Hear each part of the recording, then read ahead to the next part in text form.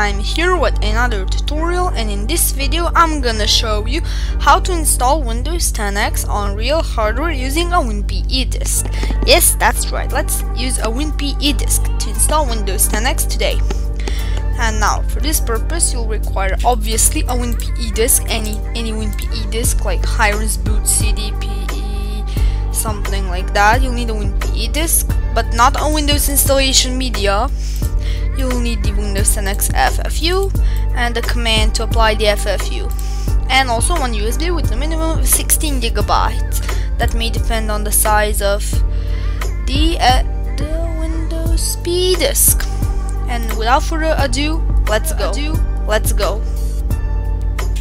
Now plug your USB and open Rufus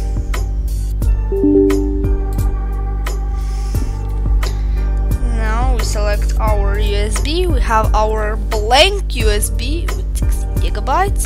We're gonna select the image or let's just drag Hiren's boot CD here. And here it says that the file system is FAT32 but we need to change that to NTFS in order to shrink the, the volume and copy the Windows 10 X on another partition which we'll do that later.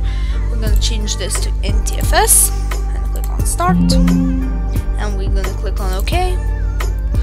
And now it's gonna wipe this drive. And now it's gonna format it and apply apply the ISO and let's do that. Now now just sit back and relax while this is flashing. Alright so once the USB is done close Rufus. Now open disk management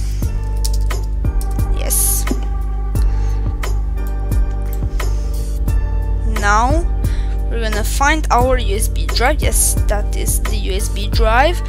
Make sure you select the proper USB before doing this. Now right click on the partition and shrink volume.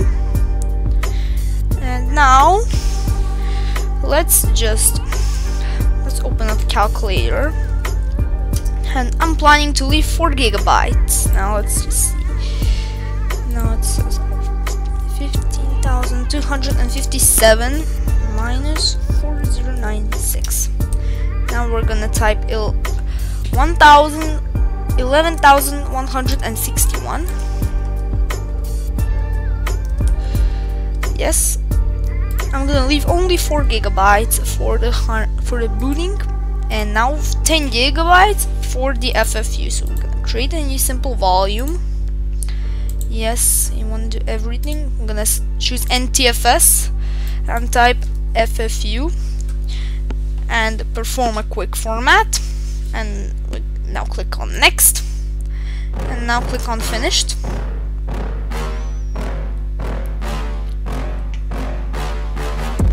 Now we're gonna create out separate partition for the FFU okay? And now what we need to do now is just copy the FFU and the command over to the USB drive. And now we're just gonna wait to do that. Alright so once we've copied the FFU and command we are finally ready to install this on our target reason why this video was split in two parts is because it was 17 whole minutes when I got done with it. Yes, that's right, entire 17 minutes. minutes. And that's why I split it into two parts. Don't worry, both parts are coming. Part 2 is coming the same time on Wednesday that was all for today's video. If this helped you, make sure you have liked this video, subscribe, and turn on the notifications, and I'll see you all in the next video. Bye bye!